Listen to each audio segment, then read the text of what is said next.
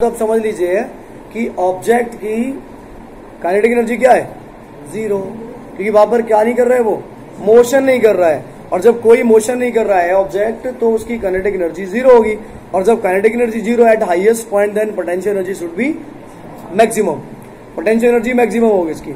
और जब ऑब्जेक्ट को ड्रॉप करेंगे तो potential energy will decrease but kinetic energy will increase वो मैंने आपको बता दिया। फाइनल पॉइंट क्या होगा?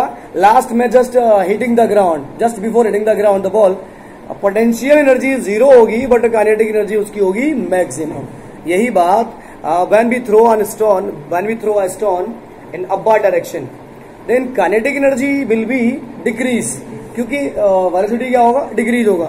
तो काइनेटिक एनर्जी क्या होगा? डिक्रीज होगा. लेकिन ऊपर से ऊपर जैसे पहुंचेगा मैक्सिमम पॉइंट पे वो. मैक्सिमम हाइट पे पहुंचेगा। उस हाइट पर उसकी पोटेंशियल एनर्जी क्या होगी? मैक्सिमम बट काइनेटिक एनर्जी क्या होगी? ज़ीरो और जैसे ही वहाँ से नीचे गिरेगा फिर ये वाली कंडीशन आ जाएगी। तो आप समझ पाए इस बात को कि नहीं समझ पाए? अब क्वेश्चन आता है एक और इसमें जो पेंडुलम होता है। ठीक है ना पेंडुलम सिंपल पेंडुलम ऐसा लगा होता ना? ये चलता है ये चलता। है चलता ना वो? तो, तो झूला। और छोड़ दिया। जितना आगे जाता है उतना ही पीछे आता है। फिर आगे जाता है, फिर पीछे आता है। और धीमे धीमे धीमे धीमे करके फाइनली बाद में वो क्या हो जाता है? स्टॉप हो जाता है।